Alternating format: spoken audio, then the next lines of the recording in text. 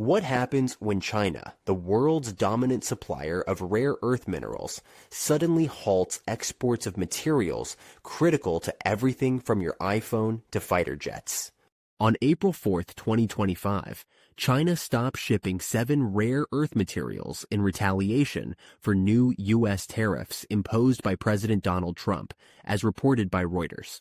These minerals, vital for electric vehicles, military tech, and consumer electronics, are now stuck in paperwork limbo, with Chinese exporters waiting for government licenses that may never arrive. Given China's near monopoly on these scarce resources, this move has sent shockwaves through global supply chains.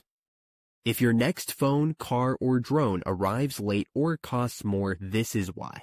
Let's break this down in six steps, exploring the stakes, the motivations, and what this escalation means for global stability.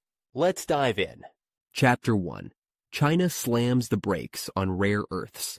On April 4, 2025, China halted exports of seven rare earth materials samarium, gadolinium, terbium, dysprosium, lutetium, scandium, and yttrium in a direct response to new U.S. tariffs imposed by President Trump.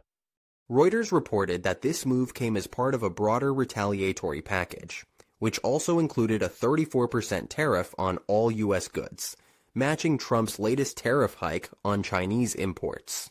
The rare earth export restrictions, announced by China's Ministry of Commerce, require exporters to apply for licenses, a process that has ground shipments to a halt.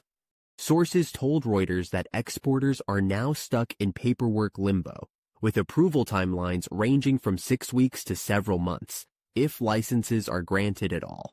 China's decision targets minerals critical to high-tech industries.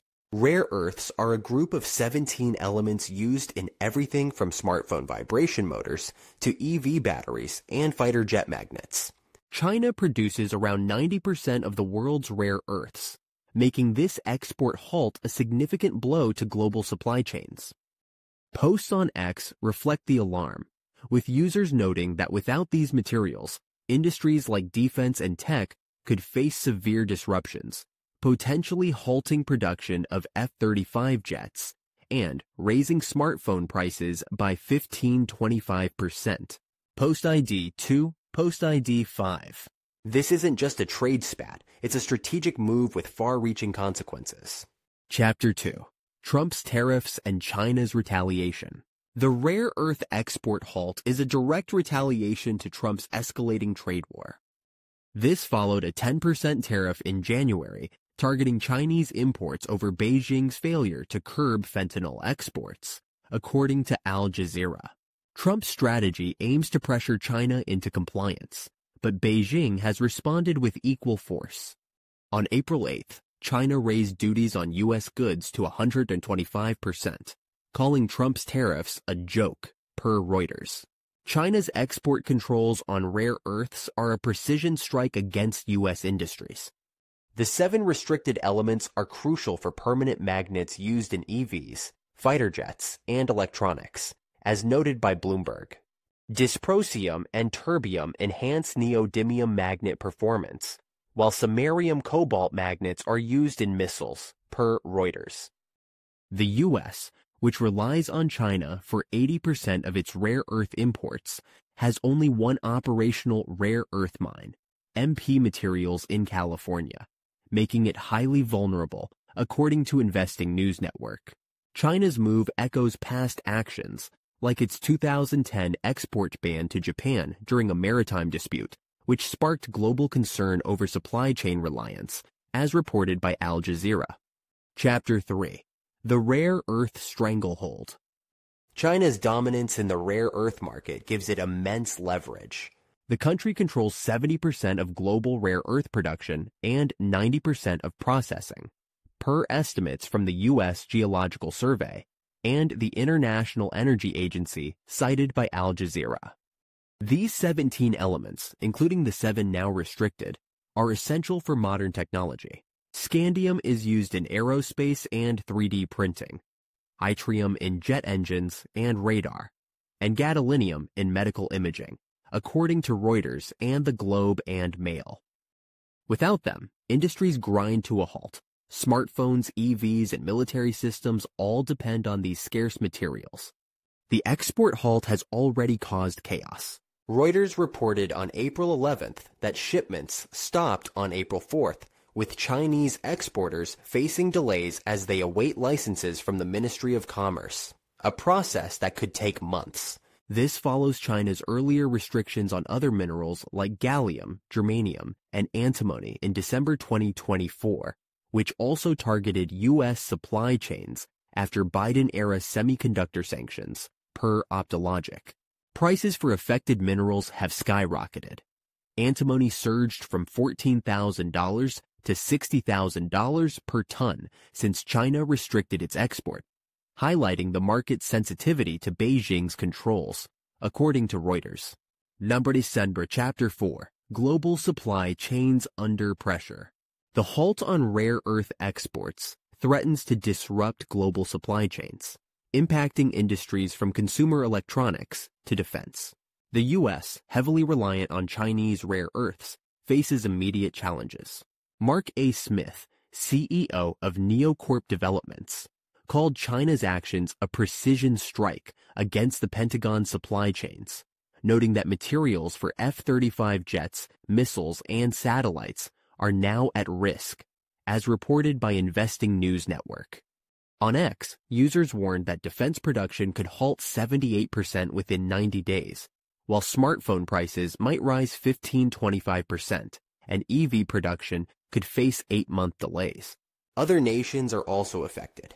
China's export controls include permanent magnets and finished products, which are hard to replace, per Reuters.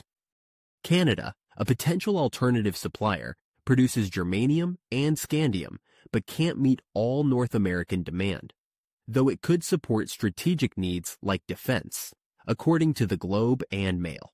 Australia's Lynas Rare Earths has partnered with the U.S. Department of Defense to develop a processing plant in Texas, but scaling up will take years, as noted by Al Jazeera.